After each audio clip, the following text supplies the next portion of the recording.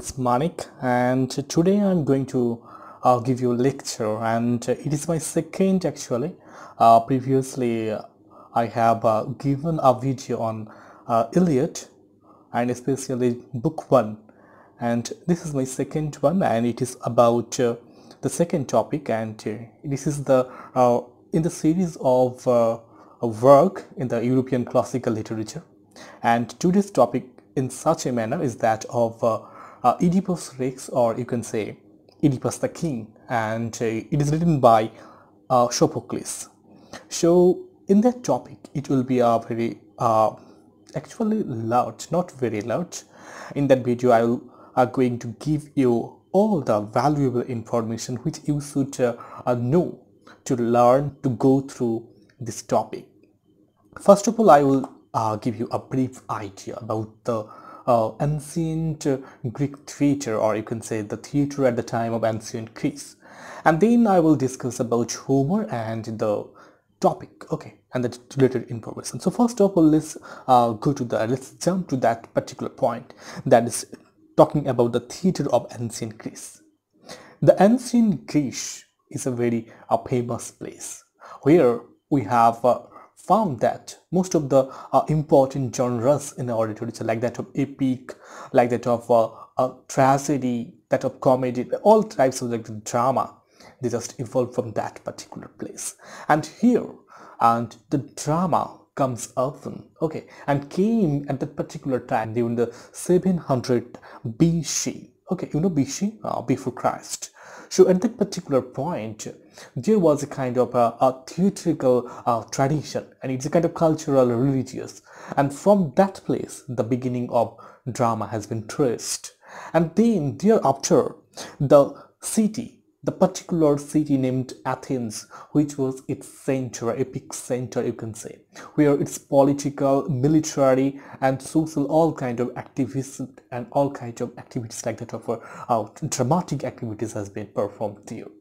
And if we uh, go a little further later in the period, 500 around 500 BC, at that particular point, the very term tragedy came up to us.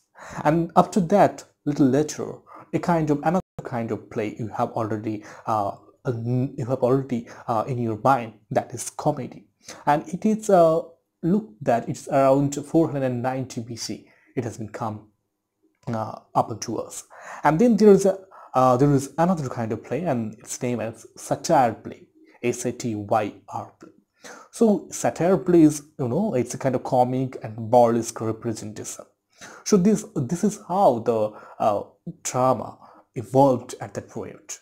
Okay, and if we call the father of tragedy, uh, then we have to go back at that particular period when in 500 BC uh, there was a particular actor named Thespis. Yeah, that is Thespis. Okay, he was a prominent actor and simultaneously he was a compiler too compiled many uh, plays and he also stays there in that period. And that's why uh, with his name uh, he is often being called that he's the father of tragedy. And if we uh, go further little uh, more and then we have come across to that period that is called the classical period of European literature and in that period we can now trace back to that continuation of the age uh, from 1600 BCE to 600 CE okay in that period the uh, performance the writing and the uh, audience's uh, interest was so much that that period is called that it's the golden age of uh, uh, literature and especially golden age for drama and in that place the center point is that of course Athens. And all these plays were in the form of a honorary things. And these plays were used to honor the god Dionysius. And the particular temple was named Dionysia. Okay. And at that time and it is around 500 or you could say uh, 460 AD there was a kind of battle okay and the battle was going on between uh, three prominent writers and the name of them and names of them actually are Euripides, Aeschylus and Sophocles. All of them were uh, combating with each other. And you know Dionysius uh, the uh, god and there was a kind of festival and in that festival they were combating each other.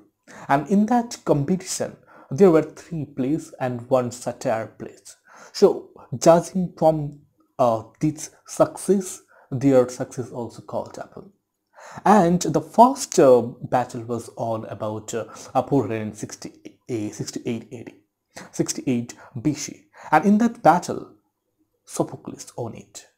And you will uh, uh, um, be in, uh, very happy to know that our best our today's writer that is Sophocles won around 24 battle in it and in his lifetime Sophocles wrote about 123 plays in total and he won 24 times in that competition and if you uh, like to talk about the contemporary other contemporaries.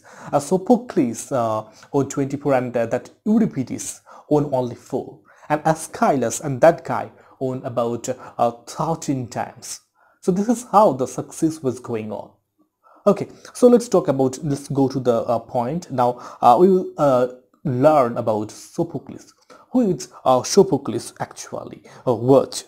Uh, for almost 50 years, Sophocles was the most celebrated playwright in the dramatic competition of the city-state of Athens. And that took place during the religious festivals of the god Dionysius, which I have already talked. I have already uh, talked.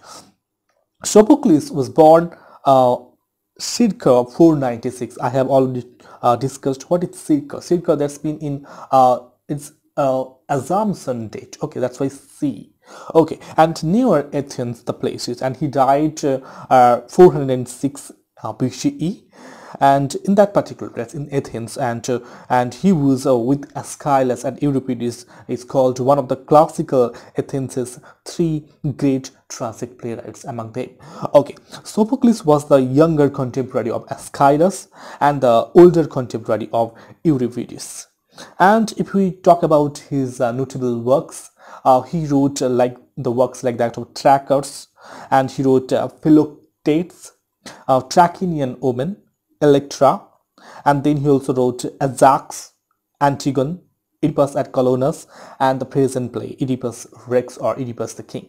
But the latter, the last uh, three plays that been Antigone, Oedipus at Colonus, Oedipus Rex, these are like that of a, similar kind of stories. Okay, uh, not in similar in the plot structure, but the uh, actual incidents have such have, have some kind of relations within it.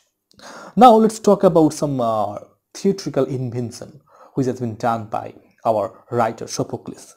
Sophocles was the first writer who invents that scene painting. You know scene painting?